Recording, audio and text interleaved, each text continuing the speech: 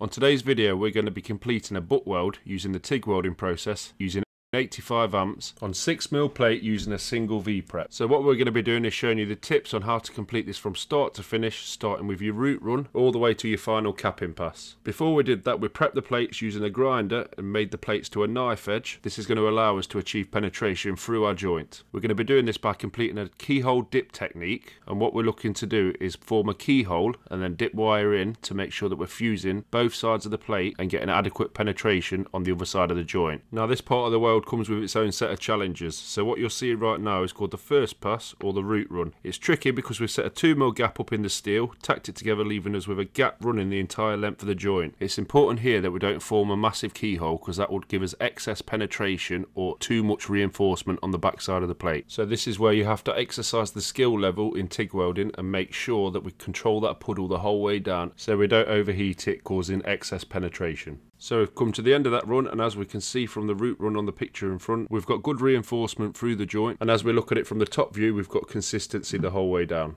So the next stage on our welding, we're going to complete something known as the hot pass. What we're doing is adding reinforcement to the root run. So we've turned our amps up slightly to 95 amps. The trick to this run is to not disturb the root run, as we don't want to put too much heat into the root which would push more material through the back of the joint causing excess penetration. Alternatively, we could cause issues like suckback which is when the penetrated material is pulled back into the joint which is why the hot pass run is also known as the root reinforced run. As you can see from this example, this root has been disturbed, the hot pass has gone in too hot and it has created suckback all the way down the root. We are now moving on to the flushing run using 115 amps. We can put a bit more heat into this now as we have the reinforcement reinforcement of the previous two runs so we are less likely to disturb our root run. This is the final run before we put the finishing cap on. The aim of this run is to fill the joint just below both edges. We leave the edges intact as this helps as a guide to follow when we are putting the cap capping run on. We are using the weave technique where we add wire to both sides as we are moving the torch from left to right and the wire always follows the weld pool. We have to dip both sides to ensure that we've got sufficient metal going into our welding pool and our dips must be consistent so we can keep our weld smooth and the welding profile flat throughout. If this has been done correctly you will have a flat profile where you can see both edges like this.